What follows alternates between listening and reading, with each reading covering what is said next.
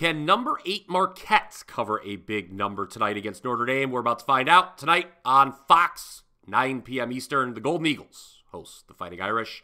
What's going on, everybody? Brian Power here with you on Wager Talk TV, trying to figure out if Notre Dame can reverse its previous road woes or will Marquette avoid the dreaded letdown spot. As of this recording, the eighth ranked team in the country, that's Marquette, up to a 21 point favorite per the wagertalk.com odds screen.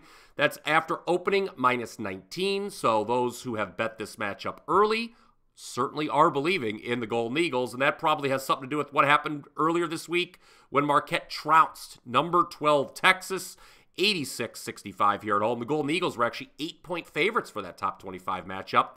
Not sure if that says more about them or that Texas was just plain overrated. Maybe a little of both, perhaps. But the bottom line was that Tyler Kolek and Cam Jones, again, made their case for being the best backcourt in the country. Kolek, 28 points, 8 rebounds, 6 assists for Marquette, who actually started off pretty slow against Texas. They missed 8 straight threes early on, but an 11 0 run in the first half seized control of the game.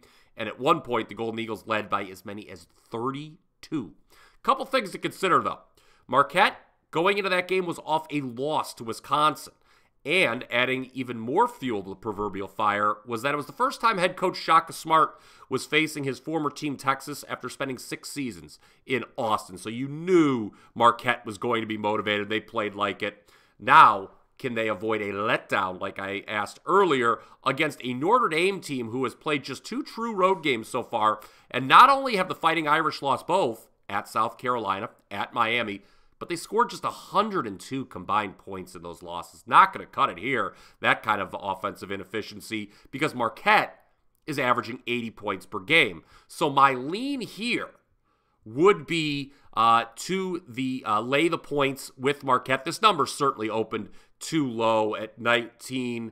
Uh, I sh- I would make the number 23. So I'm showing still a little bit of value on the current number. Uh, as for the total, for those interested in that, better seem to be liking the over in this one. That number's gone up to 141, but that seems a little risky when you consider Notre Dame is shooting just 28% from three this season. Maybe there's some positive shooting regression in store for the Fighting Irish, but I don't think it's going to be enough to stay within a big number at Marquette. Yeah, it's not a great spot for Marquette, but they're just playing better than Notre Dame. Make no mistake about it. So the Golden Eagles would be my lean on Saturday night. Now, I've got to talk to you about something else real quick, and that is my 15 and 1 all sports run here at Wager Talk. Not only was I 5 and 0 last Saturday in the College Football Conference Championship games, but I broke out the broom again on Sunday for a 5 0 sweep in NFL. I'm a perfect 4 0 in college hoops during this amazing run as well. And tonight, I have my very first 5% college hoops max bet of the season. You can get it right now by going to my page, wt.buzz backslash BP. And while you're there, consider locking in long term because for only $199, you can get the rest of my selections for 2023. That's every sport NFL, college football, NBA, college basketball, and soccer. Last year, I went 67% in the bowls. Going back to January, I'm up 77.6 net units in basketball, NBA, and college combined. So take advantage today. The quicker you get on board, the more plays you're going to get with the Wager Talk end of year special. Again, every play for the rest of 2023 for just $199. WT.buzz backslash BP is the place to go.